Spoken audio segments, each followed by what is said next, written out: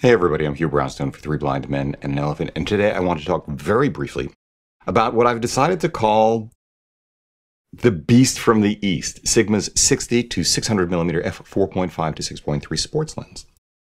That's because there's not much to say other than that it is an exceptional hunk of glass, and at $2,000, not cheap in and of itself twice as expensive as Sigma's own 150 to 600 contemporary and $200 more than their 150 to 600 sports lens, still an incredible value.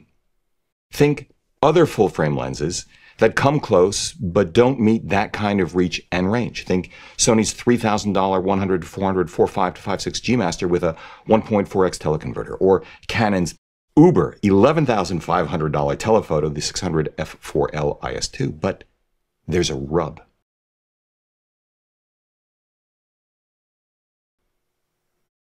Before I go any further, though, a quick reminder to be sure to enter our lighting gear giveaway courtesy of our friends at B&H. See how to enter in the show notes down below. Click more. And if it turns out you love what we do, find out the myriad ways you can support our efforts once again by checking out the show notes down below. And if you have questions, as so many of you do, about the gear we use, well, we always put that down in the show notes as well. So, okay. First, the lens itself. Stout build quality.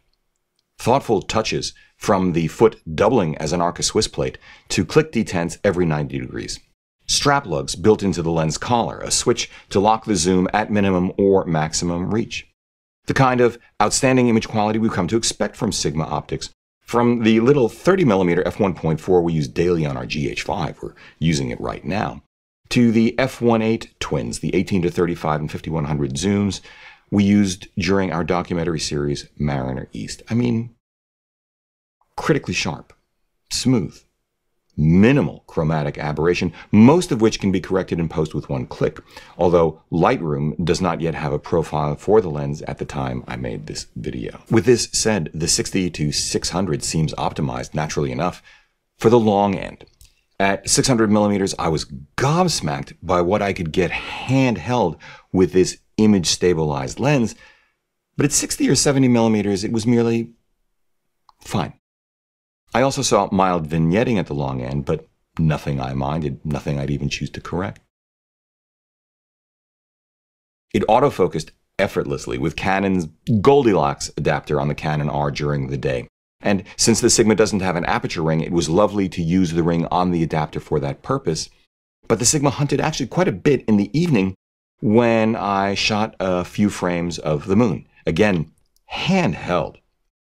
But the rub I mentioned a few moments ago is the Sigma's size and weight relative not to other full frame lenses, but to crop sensor lenses. Because while you can definitely see the difference when pixel peeping, at normal sizes and viewing distances, the admittedly shorter reach and 4x only Panasonic Leica DG Vario Elmarit 50 to 200 2.84 we had on one hand, made it to the 20 megapixel micro four thirds in-body image stabilized G9 on the other, even then gave up less than you might imagine to the Sigma mounted on the 30 megapixel full frame non-IBIS Canon R.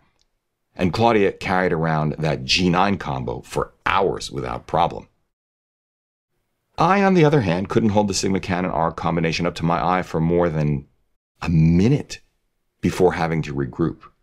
We're talking a very front heavy six pounds for the Sigma alone, but just under a pound and a half for the shorter Leica. Where at the long end, it also enjoys a stop and a half advantage and $300 less compared to the 60 to 600. This is not an inconsequential consideration, especially when you travel.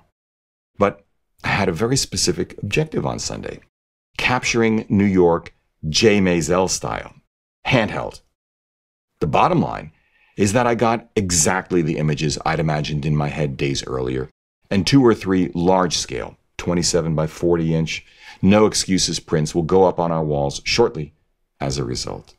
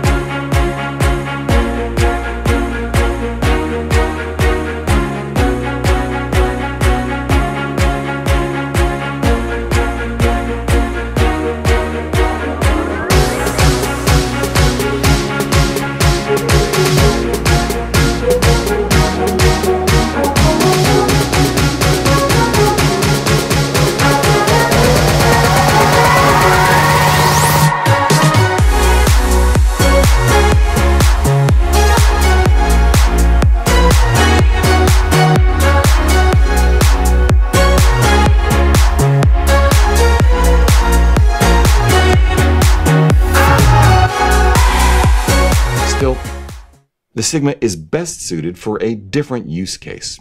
On the sidelines of a football, soccer, or rugby match, perhaps at a racetrack, but unlike the Vario Elmarit, always on a monopod, ideally with a gimbal head something like a Benro A48FD with Oben GH30, or if you really want to go nuts, a Really Right Stuff FG2.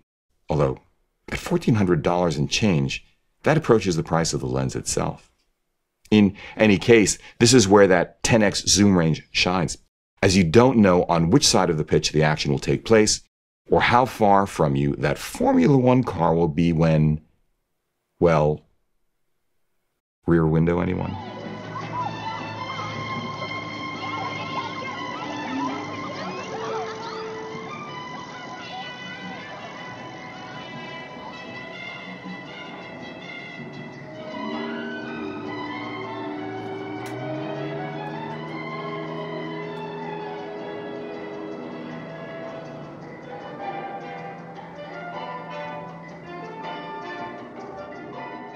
What a great movie.